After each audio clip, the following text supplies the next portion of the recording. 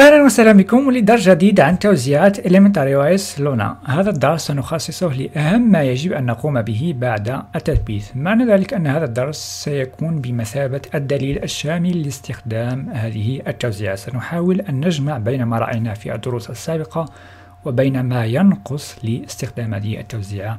بالنسبة أو من أي مستخدم كيفما كان مستواه. إذا أول شيء يجب القيام به بعد تثبيت أي توزيعة هو التعرف عليها هذا شيء رأيناه في أول درس يمكن متابعته على المجمع أو في قناة المجمع على اليوتيوب. في الدرس الكتابي المرافق لهذا الفيديو ستجدون فقرات بها روابط للدروس التي سأشير إليها. إذا أول درس كما قلت هو التعرف على توزيعات Elementary ستجدونه في الفقرة الأولى. بعد التعرف على التوزيعة يمكنك المرور لحل المشاكل التي تواجهك أو ستواجهك. من أهم المشاكل أو من المشاكل الشائعة التي لاحظت أن البعض عانى منها أو يعاني منها هو مشكل التعريفات. بعض العتاد أو قطع العتاد لا تعرف بشكل جيد. السبب الأساسي الذي يمكن أن يكون وراء هذا المشكل هو أن النسخة الخاصة بالنواة قديمة لأن توزيعات إليمنتال تعتمد على توزيعات أوبونتو المدعومة لمدى طويل 12.04 حاليا ولها نسخة نواة قادمة ثلاثة اثنين حاليا. إذا يمكنك أولا كحل أولي أن تقوم بتحديث نظامك وتحديث النواة. بهذا الأمر ستقوم فقط بنسخه ولصقه في الطرفية وبعد الانتهاء إعادة تشغيل جهازك فتحدث النواة وتحل أغلب مشاكل آه، التعريفات. المشكلة الثانية وليست بمشكلة حقيقة ولكنها خاصية افتقدها البعض وهي خاصية سطح المكتب المفعل الكثيرون يفضلون أن يكون لهم أيقونات مجلدات على سطح المكتب. في Elementor OS سطح المكتب غير مفعل لا يمكنك أن تضيف له أي شيء لو قمت بالضغط يمين أو سحب أي شيء إليه فلا يمكنك ذلك لأنه غير مفعل طريقة التفعيل قدمتها أيضا في درس منفصل فيها خطوتين بسيطتين يمكن القيام بهما بسرعة. هذا الدرس ستجدون أيضا رابطه ضمن فقرة الدرس الكتابي المرافق لهذا الفيديو. كما تلاحظون هنا يمكن تفعيل سطح المكتب.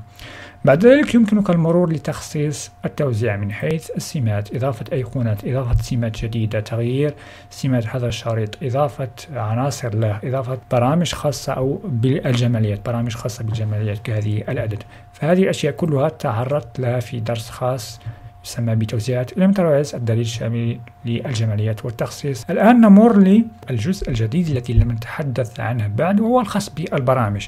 لتثبيت برامج جديدة خاصة بتوزيعات. Elementor أو تثبيت برامج عامة نجدها على أغلب التوزيعات لكن لا تأتي مثبتة افتراضيا على توزيعات Elementor OS لونا إذا سندخل لمركز البرمجيات لأنه الذي لأنه متوفر في هذه التوزيعة بما أنها تعتمد على توزيعات على توزيعات أوبونتو فطريقة التعامل مع البرامج مشابهة.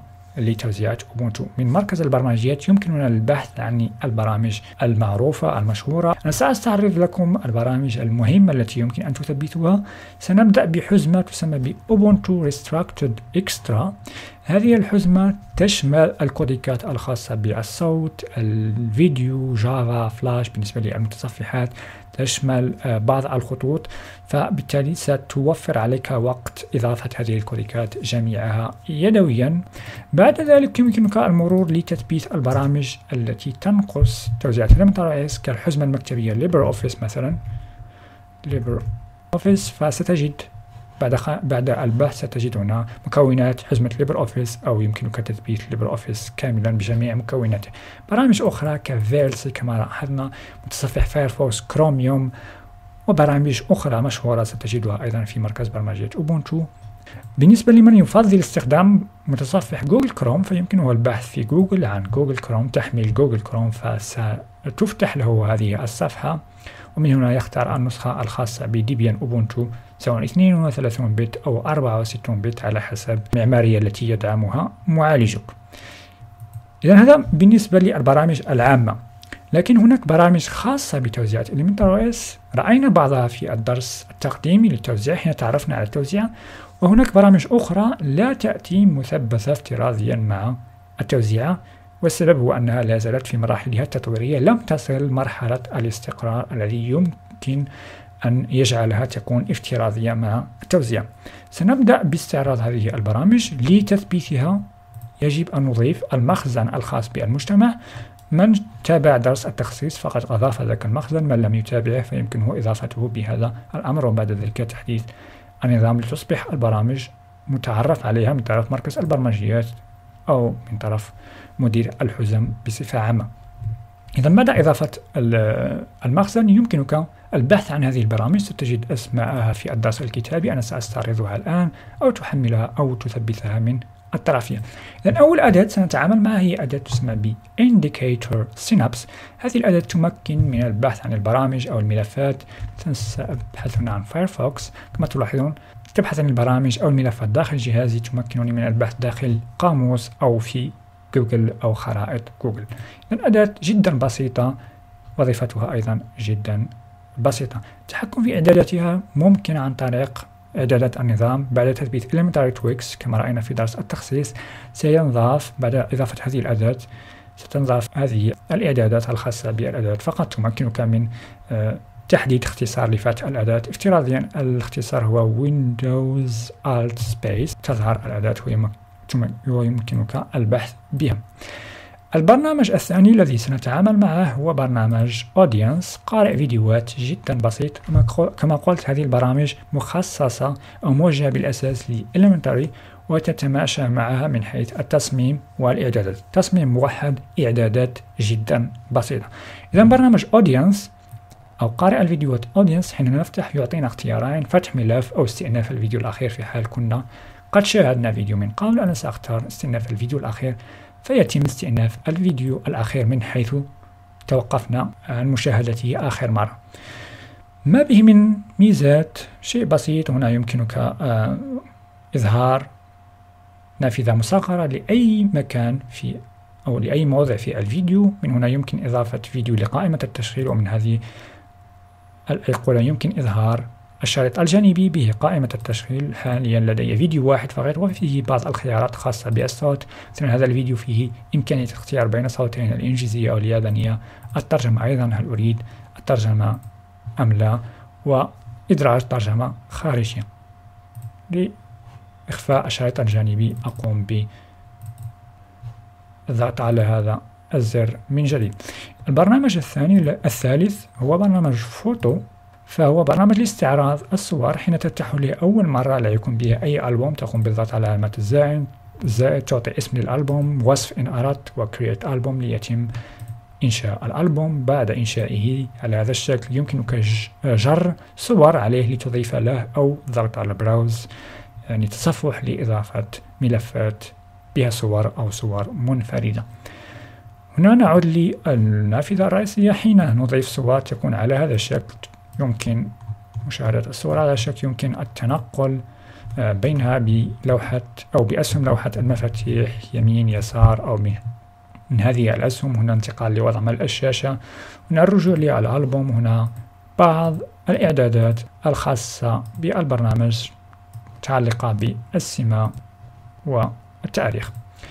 إذن برنامج بسيط حين نفتح الصورة لدينا إمكانية جعلها كخلفية وإمكانية الدخول إعداداتها وهنا لدينا إمكانية البحث داخل الألبومات. بعد هذا البرنامج سندخل الآن لبرنامج خاص بالإنترنت وبالضبط عميل تويتر يسمى ببيردي كما تلاحظون الآن فيه شعار جديد. وهذه ميزة فيه هو أنه يدمج مع قائمة الرسائل هنا فإن كان هناك إشعارات جديدة تظهر على هذا الشكل إذا برنامج بيردي حين تفتحه أول مرة سيعطيك إمكانية إضافة حسابك على تويتر. هنا معلومات عن الحساب يمكنك هنا استعراض الرسائل المرسلة أو المستلمة التفاعلات مع حسابك وهنا التغريدات الخاصة بالأشخاص أو الحسابات التي تتابعهم.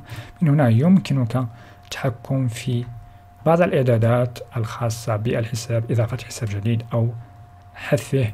ومن هنا يمكنك إضافة تغريدة جديدة مع إمكانية إرفاق الصور. برنامج آخر أيضا مرتبط بالأنتن هو برنامج فيدلر هذا البرنامج خاص بالترقيمات ترقيمات RSS حين تفتح لأول مرة لا يكون به أي اشتراكات من هذه العلامة يمكن إضافة مجلدات تقوم بإضافة فيها ترقيمات أو اشتراكات خاصة ب RSS كترتيب وهنا إضافة اشتراكات. كما تلاحظون هنا بعض الإشعارات برنامج له ثلاث طرق للعرض على هذا الشكل أو على هذا الشكل. أوبس. أو على هذا الشكل كما آه، تلاحظون. وهنا يمكن التحديث اليدوي. بعض الإعدادات يمكن التحكم فيها. من هنا الدخول إلى الخيارات من حيث السمة السلوك والتحديثات وسيلة التحديثات وكيف يتم تحديث الإشعارات. وأيضا يتم دمجه ضمن قائمة الرسائل. هنا كما تلاحظون لدي 89 آه، إشعار غير مقروء كما تلاحظون. هنا. البرنامج الموالي هو برنامج خاص بتصفح يوتيوب يسمى بيوتيوب يوتيوب. حين نفتحه أول مرة يعطينا هذا التحذير أو هذا التنبيه على أنه لغلق البرنامج نستعمل تجميعة Alt زائد F4 F4 لأن البرنامج يشتغل في وضع ملء الشاشة full screen فقط. إذا نضغط نعم فيفتح لنا البرنامج. الآن يمكننا أن نتصفح فئة الفيديوهات على يوتيوب. ويمكن استغلال أيضا خاصية البحث. أنا أقوم بالبحث أقوم بالانتقال للنتائج يمكنني أن أتصفحها. لو أعجبتني النتيجة ما يمكنني أن أدخل لها. فأشاهدها في وضع ملء الشاشة على هذا البرنامج. يمكن الرجوع للصفحة السابقة عن طريق الضغط على إشهاب. إذا إشهاب للرجوع. رجوع مرة أخرى هنا يتم الاحتفاظ بالبحث الذي قمت به يمكنني حذفه من هنا. إذا هو برنامج يعني لمن له شاشة تلفزيون يشاهد بها فيديوهات وهكذا أشياء فربما يكون مناسب له. إذا نضغط على Alt F4 للخروج من البرنامج. على ما أعتقد هذه كانت أهم البرامج التي أردت استعراضها. سأضع أيضا رابط لدرس آه، قائمة آه، أو لائحة أهم مقابلات برامج ويندوز على لينكس كي تتمكنوا من التعرف عليها. بالنسبة لتوزيعات إليمنتري أيضا يمكن تثبيتها من مركز البرمجيات بما أنها تعتمد على أوبونتو إذا بهذا أكون انتهيت من هذا الدرس ونلتقي في درس قادم إن شاء الله. إلى اللقاء.